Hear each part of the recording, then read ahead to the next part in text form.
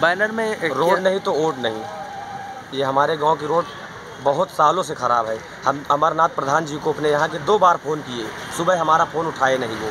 जब दूसरे किसी व्यक्ति से फ़ोन करवाएगा तो उनका फो- वो फ़ोन रिसीव कर लिए हैं। और आने जाने में बहुत समस्याओं समस्याएँ उठानी पड़ती हैं। हमारे पास फोर व्हीलर भी है। कल रात में हम जा रहे थे। हमारी गाड़ी पलटने से बची इसी जगह पे। बहुत कीचड़ था। रात में फिर हम जिस तरह से निकल निकले कितने सालों से सामना करना पड़? रहा है अरे इसका कोई ठिकाना है जब से हम पैदा हुए रोड कभी बनी ही नहीं। ऐसे ही चल रही। जैसे रोड पड़ी है ऐसे ही है। आने जाने में दिक्कत होती है। प्रधान जी को हम दो बार फ़ोन किए।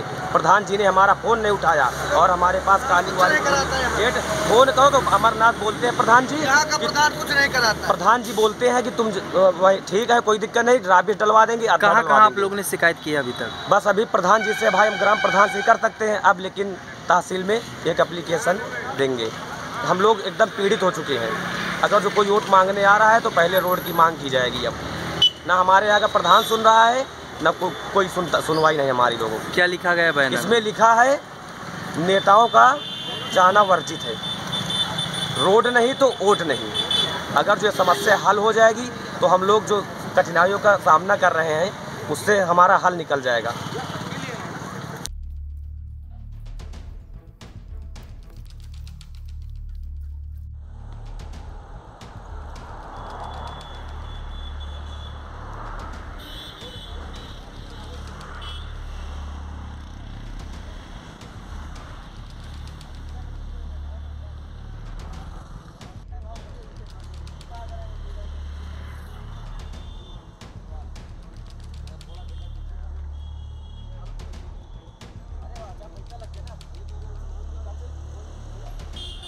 इसमें जो है कि हमारे गाँव का रास्ता जो है, कई पंचवर्षियाँ बीत गई हैं, जिससे कि ना रास्ता बना है, इसमें मिट्टी भी भराई नहीं की गई है।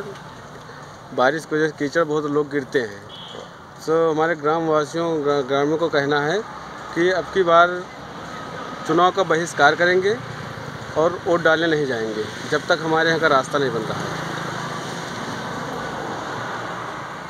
और क्या मांगे की मांगे हैं कि बगल से नालियाँ नाली बन जाए और रास्ता ही कंप्लीट हो जाए बन जाए। जिससे आने वाले जा, आने जाने में आम जनता को और गाँव वासियों को सबको। इससे पहले कहीं किसी से आपने मांग की है? किसी इससे पहले ग्राम प्रधान से कई बार कह चुके हैं और ब्लॉक प्रमुख में एप्लीकेशन दिया गया है। ब्लॉक में भी अब हमारे लोगों की सजेस्ट ये है कि एस को उप जिलाधिकारी को ज्ञापन दिया जाए।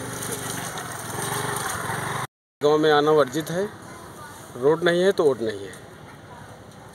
कितने वोटर थे?